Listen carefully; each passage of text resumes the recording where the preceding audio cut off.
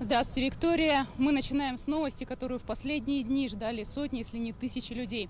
Движение по федеральной трассе наконец-то восстановлено. Сейчас здесь идет плотным потоком транспорт. Все те машины, фуры, легковые автомобили, которые скопились за последнее время, наконец-то получили возможность проехать.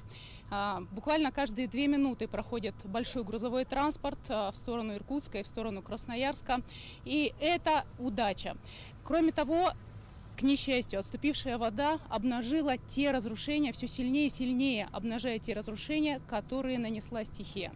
Если идти по обочине этого моста или ехать по этому мосту, то это становится невероятно заметно.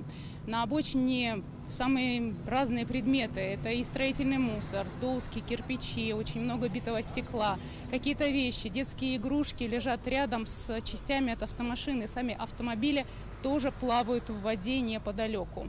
Люди воспользовались такой возможностью, что открылся мост. Им, наконец, представилась э, возможность добраться до своих затопленных домов. Для кого-то просто возможность узнать, на месте ли их дом, своими глазами увидеть, какой урон нанесла стихия.